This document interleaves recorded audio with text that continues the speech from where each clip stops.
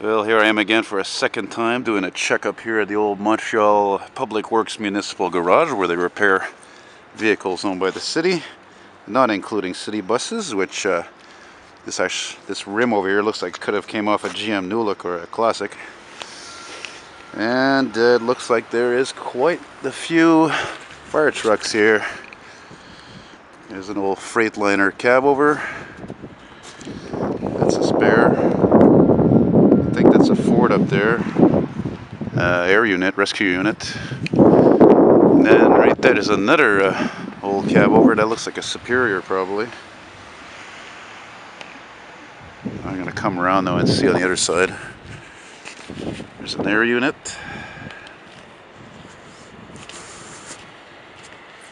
Oh, oh, oh, oh, oh.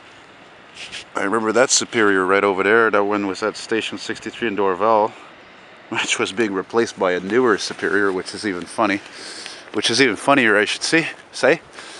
And what's funny too is that there's actually a fire station uh, almost next to this Public Works Department. Oh, look, there's an old International. Oh, I love these. Actually, this one looks like it got fixed up, maybe even restored actually. It's quite clean. Oh, it's a little dirty, but they usually look much more ratty than this, like faded paint, rust on wheels, you know. Very nice. Sit next to an old Sterling there, not as old, of course.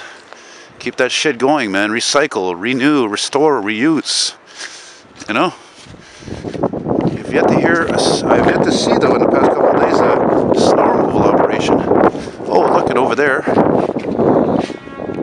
That's the, uh, that's the Olympic Village. My grandparents lived there for 25 years. It was always fun going there often. You know. Oh, freaking windy today though, man. God damn. Oh, look, a nice Ram. It's two-tone paint. That's a base model, of course.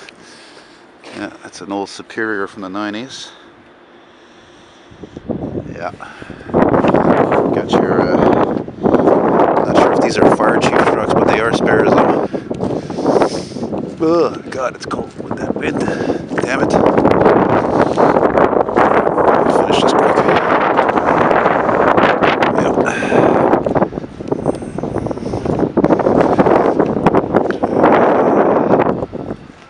Yeah, yeah, yeah. There we go.